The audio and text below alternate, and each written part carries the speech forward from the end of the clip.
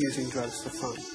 I mean, I uh, later became, I mean, I was using drugs since I was 17, you know, I mean, I later became obsessed by the use. Obsessed by the fact that I felt my consciousness was expanding. I felt that I knew a lot more about my own consciousness and perhaps even about my soul consciousness than did the average man in the street.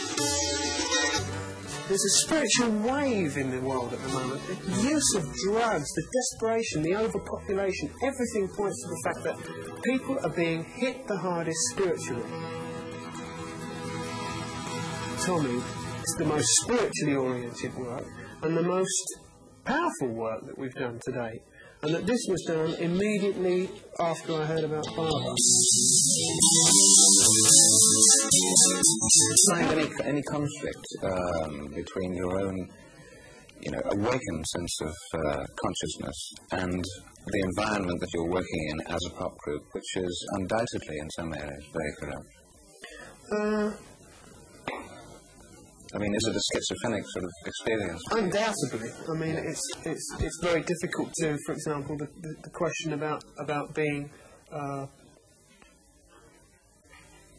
rich, yes, right, and also having uh, an, an, enhanced sense of responsibility and an enhanced sense of social consciousness. Yes. This is really what a group does. It comes from the working classes, it comes up and it makes it. And it rides around in big flashy white Rolls Royces and everybody says, look at that long end, get riding in a Rolls Royce.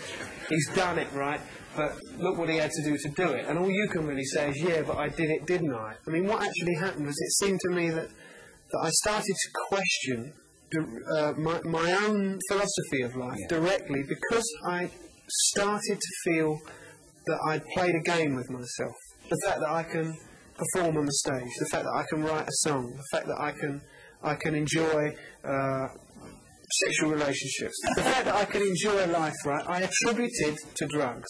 Turn on, tune in, and drop out. Turn on, tune in, and drop out. They're turned on and we're tuned in and we're very dropped out. Meditation, asceticism, birth, death, change, creation, destruction, and ganja. When I suddenly got out of that, right, I was the one, if you like, that was turning around and saying, well, look, but where's the key? Where's the key to this? Where's the, the missing link? I mean, why did this happen? I was looking, you know.